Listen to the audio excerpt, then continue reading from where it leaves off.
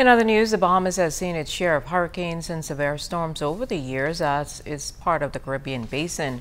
It's exposed to possible storms during the hurricane season of June 1st to November 30th and it is for this reason that officials are continuing to educate the public on the do's and don'ts during a storm or disaster. In its second year, a hurricane town hall took place Thursday night at the CV Bethel High School where senior representatives from the Meteorology Office and the National Emergency Management Agency were brought together by constituency leaders giving information on survival packs and general concerns in the event of a storm. Member of Parliament for the Golden Gates constituency Michael Foulkes saying the meeting was a joint effort to better prepare residents throughout the season.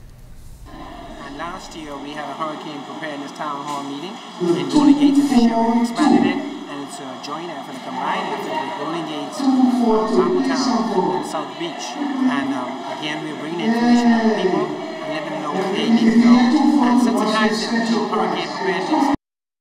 Well, the director at the Department of Meteorology, Trevor Basden, explaining information becomes a life-protecting tool during natural disasters such as hurricanes, so information from local TV or radio updates during a storm can make all the difference. Don't listen to the U.S. Their alerting system is different from ours. They have a watch warning and an all clear.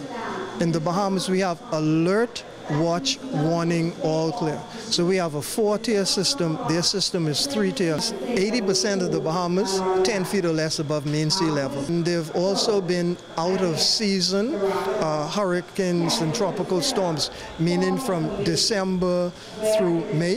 They've also been so you don't look at just the season right? You just look at the advice given by the Department of Meteorology